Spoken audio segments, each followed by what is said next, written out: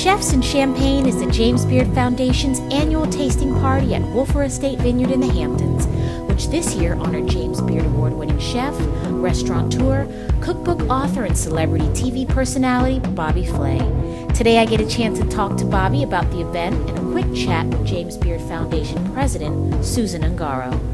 For over 20 years, we've been celebrating the best of the best in the culinary world at our party in the Hamptons. Yes. And we've celebrated uh, culinary icons like Julia Child, Wolfgang Puck, Jacques Pepin, Oh, wow. and Emeril. To everybody who loves food, good wine, and great champagne. Oh, that's us. Cheers. Hello. How are you? It's so good to see you. I've been great. I've been trying to hunt you down all day long. Bryce Shuman of Betony. I'm here with Chef John Mooney, Bell Book and Candle. Make sure you check out Root and Bone, Jeff and Janine. They're making everything. It's absolutely delicious.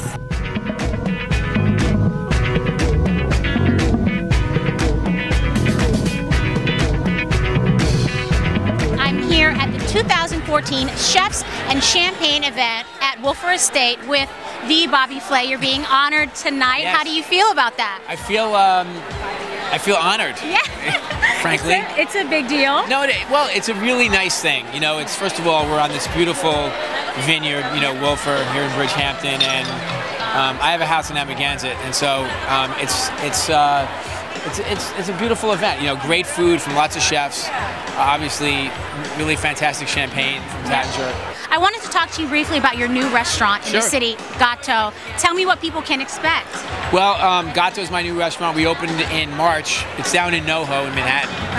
and um, the food is Mediterranean, so we're I'm pulling influences from uh, Spain and Greece and Italy and France and even like Morocco and Tunisia. So lots of Mediterranean cuisine.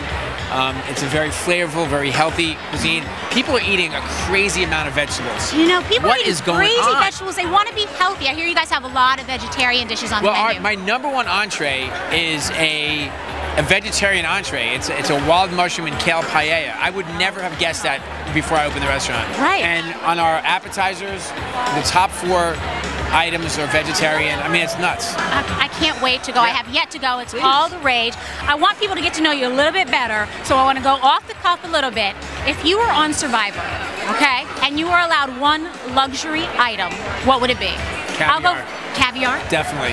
Caviar. I could survive on caviar. See, I was gonna say chapstick, but caviar is way more fancy. I need it. I need it. I don't even need use it. chapstick uh, like and like um, in my in my everyday life. So no, ca- Caviar. it would, it would definitely it would definitely be caviar for sure. Well, Caviar is way more fancy. I Well, don't. you said luxury, right? Luxury item. Okay, But no, for me, it's luxury. I don't want to hold you up. Congratulations on tonight. Bobby Flay, 2014 Chefs in Champagne honoree. Thanks. Thanks, Bobby. My pleasure. Thank you so much.